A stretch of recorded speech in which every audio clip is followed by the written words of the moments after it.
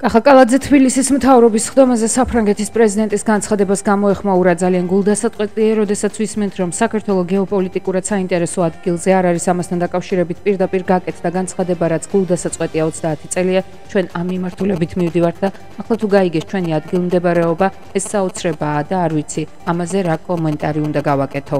უნდა გავაგრძელოთ მუშაობა იმ მიმართულებით, რომ რაც არის წინასარი დათმები, ყველაფერი უნდა იქნეს შესრულებული და როგორც ეს ჩვენ გავაკეთეთ ასოცირების ხელშეკრულებასთან მიმართებაში, იგივე ვიზა ლიბერალიზაცია, ყველაფერს რა თქმა უნდა მივიყვანთ ბოლომდე და დარწმუნებული ვარ, უახლოეს მომავალში რა თქმა უნდა მივიღებთ სტატუსს. ძალიან გულდასაწყვეტია, როდესაც ვისმენთ ისეთ განცხადებებს, რომ გეოპოლიტიკურად საქართველოს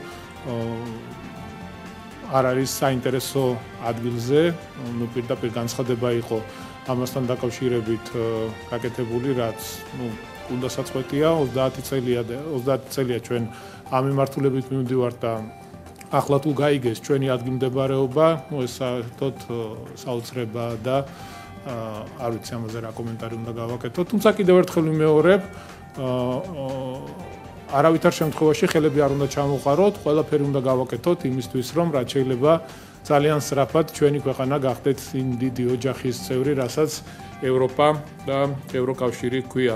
ზუსტად ორ დღეში ევროპული საბჭო ევროკომისიის რეკომენდაციებს განიხილავს და დაამტკიცებს ასოცირებული ქვეყნების საქართველოს, უკრაინა და მოლდოვა ბრიუსელის გადაწყვეტილებას ელოდებიან. სახელმწიფო გუნდში აცხადებენ, რომ საქართველოს ევროპული პერსპექტივა უკვე წინ გადადგმული ნაბიჯია რეკომენდაციების ნაწილი შესრულებულია, მეორე ნაწილზე კი მუშაობა მიმდინარეობს. მე შინაგანად მაქვს სურვილი, რომ ჩვენ უპირობოდ გავხდეთ ევროკავშირის წევრები და კანდიდატები ამ შემთხვევაში. აველოდოთ 24 რიცხვს, რა თქმა უნდა, და ის რომ ხელისუფლება დაკავებული იყოს იმით, რომ ადამიანებს პირიქით მოსახლეობას, მოქალაქეებს აწყნარებდეს, ამშვიდებდეს, რაღაცა იმედს აძლევდეს, ჩვენ ხედავთ ყოველდღიურად მათ გადადგმულ ნაბიჯებს, რომელიც ხელს უშლის ჩვენი ევროპაში ინტეგრაციას. ევროკომისიის დასკვნის რადიკალურად შეცვლა საქართველოს სამემართებაში. ჯერ კიდევ შესაძლებელია, თუმცა ამის შანსი დაბალია და ამ შანსს კიდევ უფრო ამცირებს ხელისუფლების, საქართველოს ხელისუფლების სუპერპასიურობა, ნაცვლად იმისა, რომ ეს დღეები ევროპის 27 დედაქალაქში გაეტარებინათ და პრემიერი ბრიუსელიდან არ ჩამოსულიყო, რომ ჩვენი პოზიცია ყველასთვის გაეცნო, ну, ასე ვარ, ახლა ბედის ანაბარა და ასე კარგი გადაწყვეტილებები ნაკლებად ხდება ხოლმე.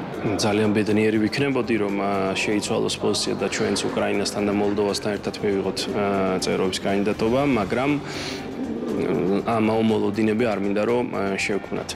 თუმცა გვითხრეს რომ კარს არ გვიხურავენ, გვითხრეს რა უნდა გავაკეთოთ იმისთვის რომ ეს მივიღოთ. ყველამ უნდა მოვინდომოთ, ხელები დავიკაპიცოთ იმისთვის, თავი არ დავზოგოთ იმისთვის რომ ქართულ ოცნებას ეს რეფორმები გავატარებინოთ, ეს ნაბიჯები გადავადგმევინოთ. ქართული ოცნება მიუხედავად იმისა რომ ძალიან ცოტა დრო რჩება, კვლავ აქტიურ რეჟიმში და ინტენსიურად განაგზობს მუშაობას პარტნიორ ქვეყნებთან და რა თქმა უნდა, მოლოდინები გვაქვს პოზიტიური. მედითი ნაბიჯების შედეგი არის ზუსტადაც ის, რომ დღეს ჩვენ ევროპასთან ისე როგორც არის დროს ვართ დაახლოებული. რაც შეეხება ოპოზიციის განცხადებებს, ოპოზიციის ოპოზიციას აქეთ მოუწოდები, რომ მედითი ნაბიჯები განეხორციელებინათ და ეთქვათ მათ კონკრეტულად რა გააკეთეს იმისათვის, რომ ევროკავშირში გაწევრიანებაზე საქართველოს რეპუტაციისთვის ესრუნათ. საქართველოს მეოთხე პრეზიდენტმა ევროკავშირის ელჩს კარლ ჰარცელს ევროპელ ლიდერებთან გასაგზავნად წერილი გადასცა წერილი 2016 წლამდე თანამდებობაზე მყოფი საქართველოს პრეზიდენტები და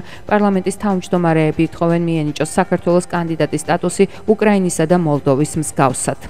პირველად შედგა საქართველოსში რომ 2016 წლამდე მოქმედი ყველა უმაღლეს თანამდებობის პირი აწერს ამ პოზიციას ხელს. ჩემთვის ყოველთვის მნიშვნელოვანი იყო ასეთი პოზიციების დაფიქსირება. დაფიქსირება იმ წერტილების, სადაც ჩვენ ჩვენი განსხვავების მიუხედავად ერთიანები ვართ. მე არ შემიძლია ამ მომენტში არ გავიხსენო ის პოლიტიკოსი, რომელიც ყველაზე მეტად იქნებოდა ინიციატორი და ხელის მომწერი ამ დოკუმენტის, იმიტომ რომ მან თქვა ისტორიული ფრაზა მე ვარ ქართველი და შესაბამისად მე ვარ ევროპელი და ეს არის ზურა ჟვანი. ჩვენ უნდა გაგვეკეთებინა ყველაფერი ამ ფორს მაჟორულ სიტუაციაში, რომ 24-მდე მიგვეღწია იმისთვის, რომ ეს ვალდებულებები დარჩენილიყო მაგრამ ჯერ კანდიდატობა მოეცათ და ასე ვთქვათ ვალდებულებები ვალდებულებების შემდეგ შესრულებაზე ყოფილიყო ლაპარაკი პოლიტპატიმრების გამოშვება მარტივად რო თქვა სააკაშვილის გაშვება სამკურნალოდ და გვარამიას გამოშვება ეს პუნქტი ჯერ კიდე შესაძლებელია რომ შესრულდეს. აი ამ პაკეტით თუ 24-მდე ჩვენ წავდგებით, აი ამ ფორს მაჟორ სიტუაციაში კიდე არის შანსი გამოსწორების. ევროკავშირი მზადყოფნას გამოთქვამს უკრაინას, მოლდოვას და საქართველოს ევროინტეგრაციის გზაზე დახმარება გაუწიოს ევროკავშირის სამიტამდე კანდიდატის სტატუსის თემაზე. ევროპულ სტრუქტურებში აქტიური მსჯელობა მიმდინარეობს.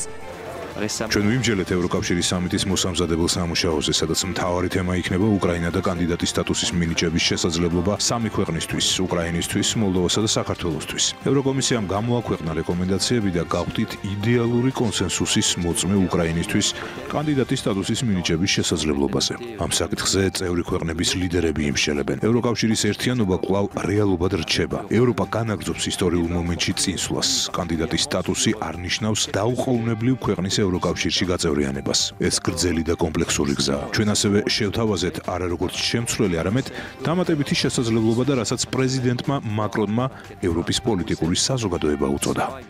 ისტორიული კვირა ევროკავშირისთვის მნიშვნელოვანი გადაწყვეტილებები უნდა მიიღონ ლიდერებმა. დღეს მსჯელობის დროს პოზიტიური განწყობა იყო. ევროკომისიის რეკომენდაციები ასახავს სამი აპლიკანტის სახელმწიფოს მნიშვნელოვან ძალისხმევას განაცხადებთან დაკავშირებით. ევროკომისიის რეკომენდაციით გამოდის უკრაინას, მოლდოვას და ასევე ასევე საქართველოს მიენიჭოს ევროპული პერსპექტივა და სტატუსი უკრაინისთვის და მოლდოვასთვის. მინდა აღნიშნო, რომ ეს არის მნიშვნელოვანი წინგადადგმული ნაბიჯი სამივე ქვეყნისთვის. ვიმედოვნებთ, რომ ევროპული საბჭო სამივე რეკომენდაციებს გაითვალისწინებს. ცაგერის მუნიციპალიტეტში უხვინალექის შედეგად სოფელ ღუში მეწყრული პროცესები გააქტიურდა ჩამოშლილმა მასამ პრობლემები შექმნა ალპანა ცაგერის საავტომობილო გზაზე და გადაკეთა მოძრაობა სოფელ ლაჯანის მიმდებარე ტერიტორიაზე. ამ დროისათვის გზა უკვე გახსნილია და კვლავ გრძელდება გაწმენდითი სამუშაოები უხვინალექისა და ძლიერი ქარის შედეგად. ამბროლაურის მუნიციპალიტეტის რამდენიმე სოფელის დაზიანდა ადგილზე მობილიზებულია ტექნიკა უკვე შექმნილია სტიქიისგან მიყენებული ზარალის დამთვლელი კომისია და ქალმა ასევე პრობლემები შექმნა რეგიონის მასშტაბით ამბროლაურის მუნიციპალიტეტის 6 სოფელში დაზიანდა საგზაო ინფრასტრუქტურა, დაწყვეტილია ელექტროგადამცემი ხაზები და ელექტროენერგია არ მიეწოდება ამ ეტაპზე 6 სოფელს.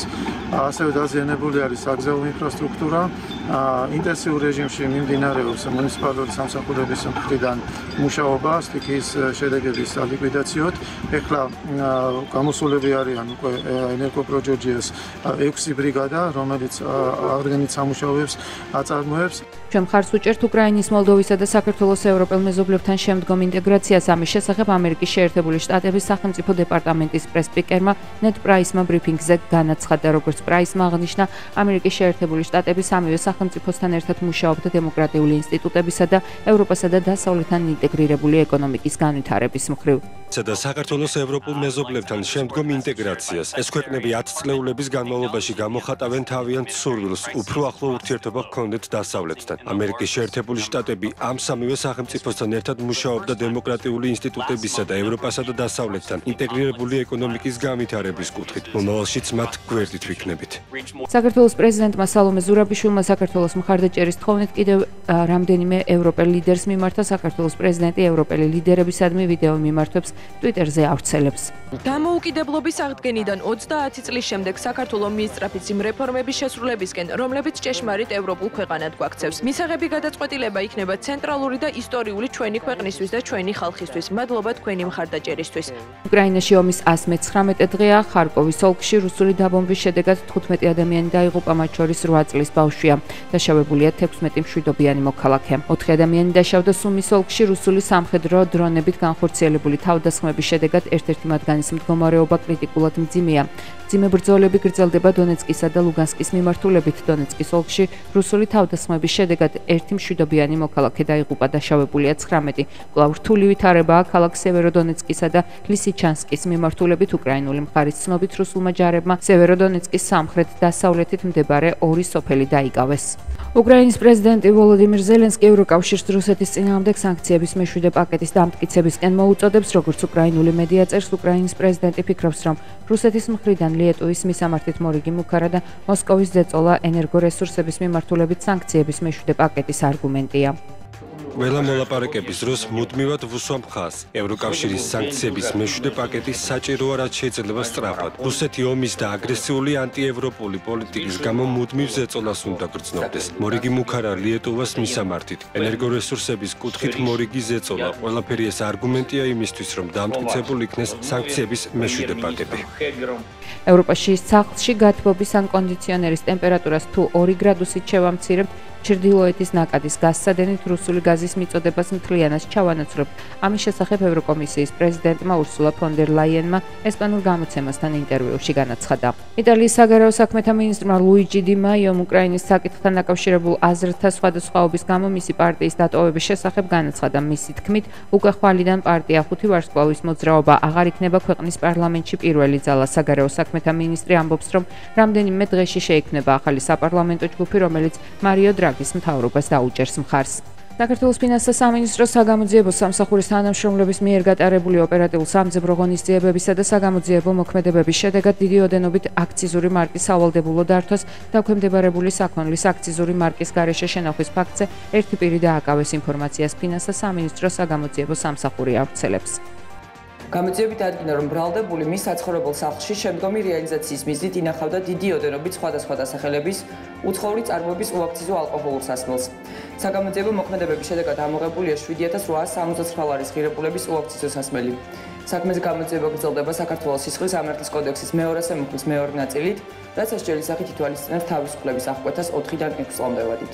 სპეციალურმა საგამოძიებო სამსახურმა ქალაქ ბათუმში ტევე პირველის ოპერატორის მიმართ განხორციელებული ძალადობის ფაქტზე ორი პირი დააკავა ამის შესახებ დღეს გამართულ ბრიფინგზე სპეციალური საგამოძიებო სამსახურის უფროსმა ოკა კაციტაძემ განაცხადა კაციტაძის თქმით ბრალდებულის სახით დააკავეს 2001 წელს დაბადებული ორი პირი გამოძიები დადგინდა რომ 18 ივნისს ქალაქ ბათუმში 6 მაისის პარკის მიმდებარე ტერიტორიაზე ტევე პირველის ოპერატორი პროფესიულ მოვალეობას ასრულებდა. რესპონდენტთან ერთად პირდაპირი ჩართისთვის ემზადებოდა. რა დროსაც მასთან ბრალდებულები მივიდნენ და ტევე პირველის საქმიანობასთან დაკავშირებით აგრესიული საუბრითა და გინებით უკმაყოფილება გამოთქვეს. აღნიშნული შემდეგ ოპერატორსა და ბრალდებულებს შორის სიტყვიერი შელაპარაკება და ფიზიკური დაპირისპირება დაიწყო. ბრალდებულებმა ოპერატორს ფიზიკური შეურაცხყოფა მიაყენეს და შემთხვევის ადგილიდან მიიმაგნენ. პარტია ანადოლიძე ხალხისთვის დეპუტატი ნინო წულაძე თბილისის მერ სამგორის გამგებლის კახა სამხარაძის უფლებამოსილების შეწყვეტის მოთხოვნით მიმართავს. მისი თქმით, გამგებლის მიერ გუშინ გაკეთებული განცხადება რუსთაველზე შეკრებილ აქციის მონაწილეებთან დაკავშირებით მიუკერძოებლობის პრინციპს არღვევს და პოლარიზებას კიდევ უფრო ამძაფრებს. გამგებლის განცხადებით გუშინ დაირღვა საჯარო სამსახურის პრინციპები, კერძოდ მიუკერძოებლობა და პოლიტიკური ნეიტრალიტეტი. აღნიშნული პრინციპების დარღვევის არასამუშაო საათებით გამართლება კი არასერიოზულად და საკითხის მიმართ გულგრილ დამოკიდებულებად მიგვაჩნია.